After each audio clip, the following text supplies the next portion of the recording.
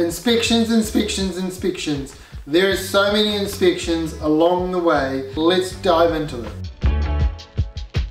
One of the first things you do before you'd even do an inspection is you do a prelim. You could go to the council and you say, hey, I'm gonna build this and this is how I think I'm gonna build it. If I submit plans that say XYZ, what do you think will go wrong? It's a really good idea if you've got a gnarly section. I personally found my local council really positive to deal with and they gave me the answers I needed and talked about the potential roadblocks that they would face consenting my job and that helped us at design phase get ahead of the game. Right, so let's assume you've done your prelim and you have then submitted consent and you've got the green light.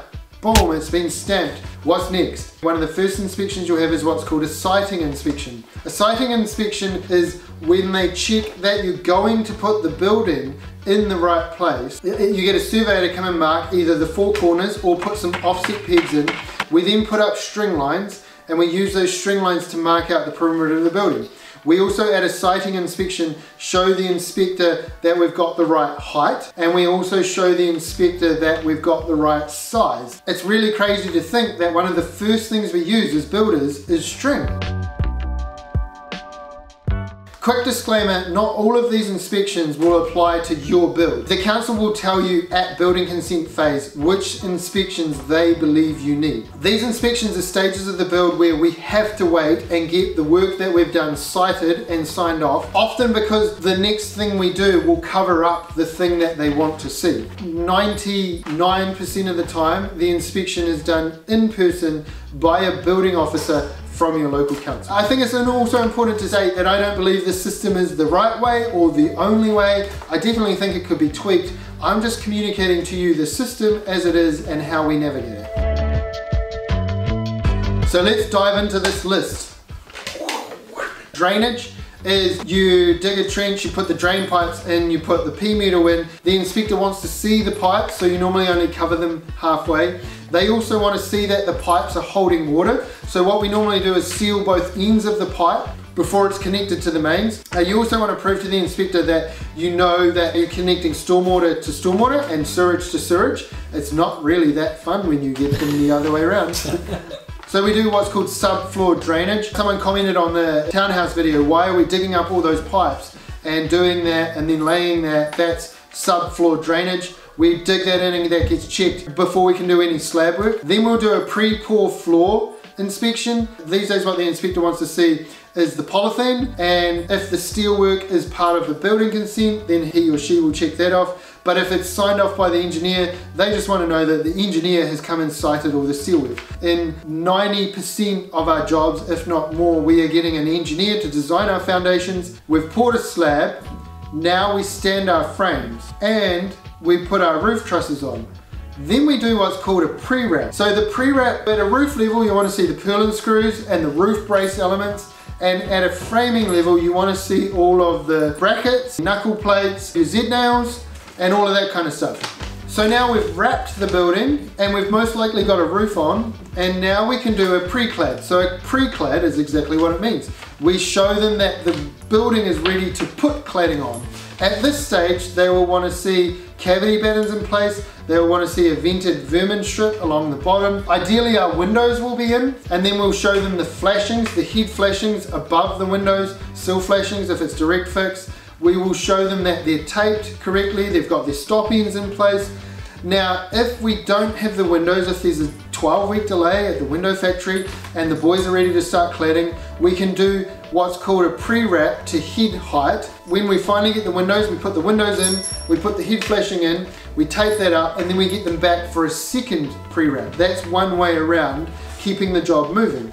Now it does cost extra to get a second inspection.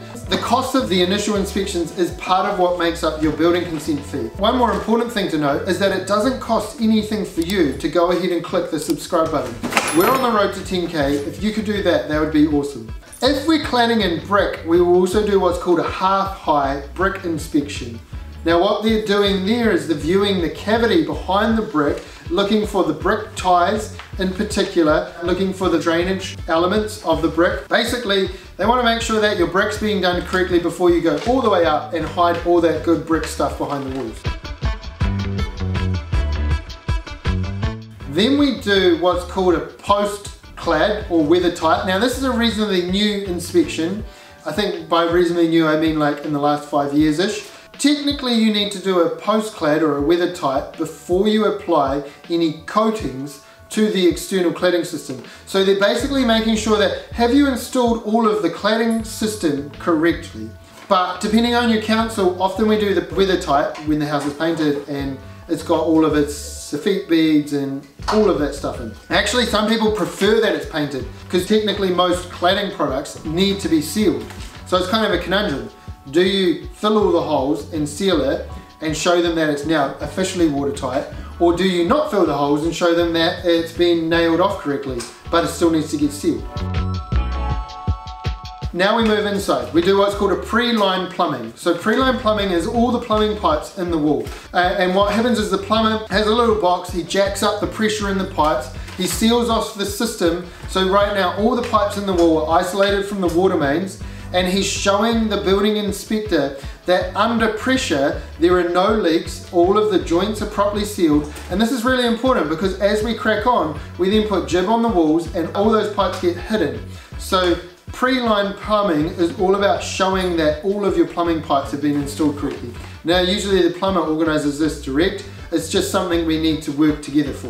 One other example of the pre-line plumbing affecting building would be if the plumber's gone and drilled through a bunch of studs and a load bearing wall, they'll want to make sure that the appropriate measures are in place like straps and brackets. Right, so then we do a pre-line building. So this is like making sure that the frames are tied to the studs, They'll check the insulation. Is the insulation installed properly? Is there no air gaps? They'll basically inspect anything framing wise that they're not going to be able to see. They'll inspect around the windows. Have you done your PEF rod and your foam?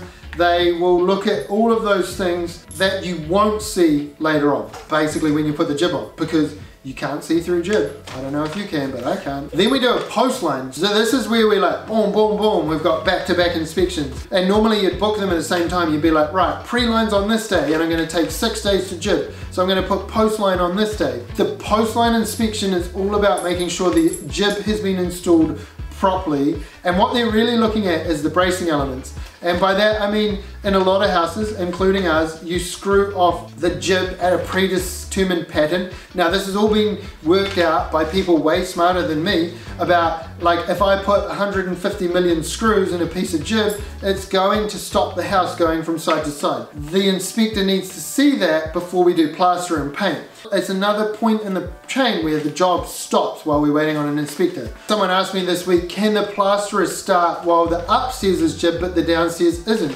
Well, in this case, the inspector will need to see all of the GIB or we need to do two inspections before we can plaster. Quite nickly, yeah. Then we're home and hosed. Pretty much at that point, if it's a real typical new build, we'll do a residential final. And that's when we walk around, we check like smoke alarms, hot water temperature, is the whole house being built to code? Have you passed all your inspections? Are all your memos in from everyone? Do you have your electrical certificate? Do you have your gas certificate? Etc, etc. And then we also check a bunch of things on the house. There's also a couple more. If you've got tiled showers, you need to get a waterproof membrane. If you've got block walls, you need to get tanking. If you've got a swimming pool, you'll need to get that. If you've got a fireplace, you'll need to get that checked.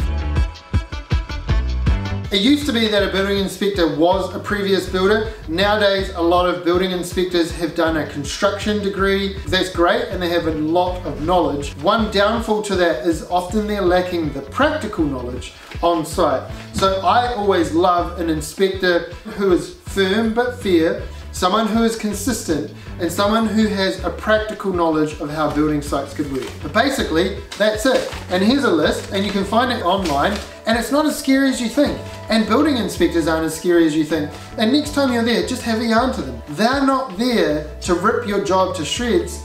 They're there to tick a bunch of boxes to remove the liability from the council. So if you understand that and you work with them, they will work with you and you both get what you need out of the situation.